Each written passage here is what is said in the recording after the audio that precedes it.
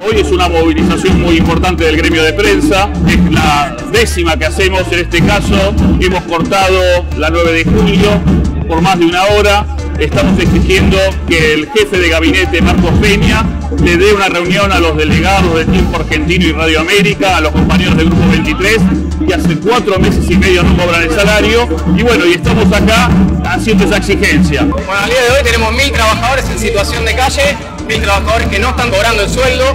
En Radio América, puntualmente donde yo soy delegado, tenemos 120 trabajadores que no cobramos el sueldo del mes de diciembre. Y lo peor de todo es que hasta ahora el gobierno nacional no, nos ha dado ninguna respuesta. El Ministerio de Trabajo lo único que ha hecho es avalar diferentes cronogramas de pago que nunca el empresario ha cumplido.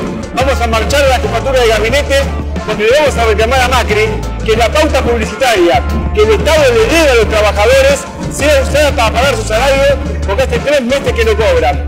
Si eso no ocurre, va a quedar claro la complicidad entre el gobierno nacional y los empresarios kirchneristas que están vaciando empresas fundamentales y despidiendo trabajadores. Le reclamamos al gobierno nacional que el jefe de gabinete, Marcos Peña, no reciba y dé una respuesta urgente a los 120 trabajadores de Radio América y a los 1000 que hoy del Grupo 23 se están quedando sin trabajo. Hemos descubierto que el Ministerio de Trabajo ha cajoneado los repros. Esto es una solución transitoria que ayudaría a los trabajadores de prensa del Grupo 23 que no cobran el sueldo a tener algo para llevar a sus familias.